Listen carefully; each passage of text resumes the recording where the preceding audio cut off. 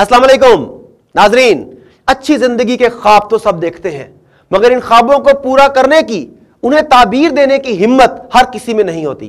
क्या आप समझते हैं कि आप में वो हिम्मत है जो ख्वाबों को ताबीर देने के लिए ज़रूरी है? यकीनन, जुबानी हद तक आप सबका जवाब हाँ में होगा। यह आपको एक साहब का किस्सा सुनाना चाहूँगा।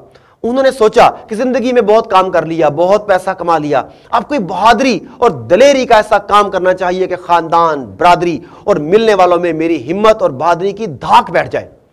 उन्होंने खूब गौरव खौज के बाद शेर के शिकार का सोचा। यह इंतखाब इसलिए किया कि शेर का शिकार हर कसो नाकस नहीं कर सकता।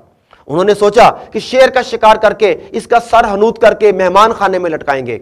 इसकी खाल का कालीन बनाकर बिछाएँगे। मिलने वाले अजीज़ो, अकारब और बाद में आने वाली कई नस्लें भी इनकी बहादुरी के कसीदे सुनाया करेंगी। ये फैसला करने के बाद उन्होंने शेर के शिकार की तैयारी शुरू कर दी। शेर के शिकार पर मबनी मालूमती कुतब पढ़ना शुरू की। जंगल की ज़िंदगी के बारे में मालूम इकट्ठी की। असलाह चलाना सीखा और वह तमाम बुनियादी तरबियत ली जो शेर के शिकार के लिए ज़रूरी थी।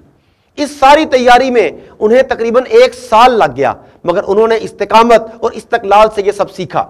एक साल बाद जब तैयारी मुकम्मल हो गई तो उन्होंने शिकारी लिबास पहना, असलहा, खुराक और दीगर सामान इकट्ठा किया और घर से शेर के शिकार के लिए निकलने लगे। तो इनकी बेगम ने पूछा, कहाँ जा रहे हो? वो साहेब सीना तान कर बोले, शेर का शिकार करने। बेगम ने उन्हें सताशी नज़रों से देखा और कहा, अपना खास ख्याल रखिएगा। इन साहब ने इस बात में सर हिलाते हुए दरवाज़ा खोला और बाहर निकल गए। मगर ठीक एक मिनट के बाद उन्हें भागते हुए घर में वापस दाखिल होते देखकर बेगम ने पूछा, खैरियत, आप तो शेर का शिकार करने गए थे? वो हाँपते हुए बोले हाँ हाँ वो तो ठीक है, मगर बाहर हमसायों का कुत्ता मुझे घूर घूर कर देख रहा है।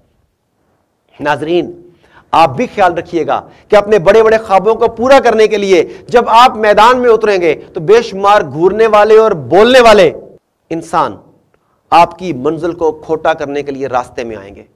ख्याल रहे, ये लोग आपको खौफ, बेयकीनी और बेअमली में मुबतला ना करने पाए। दूसरी याद रखने की बात यह है कि बेशक वो शख्स कम हिम्मती की वजह से अपने मकसद में कामयाब नहीं हो सका, शेर का शिकार नहीं कर सका, मगर उसने मैदान में उतरने से कबल भरपूर तैयारी ज़रूर की थी।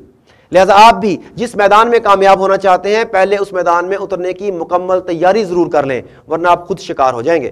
Thank you very much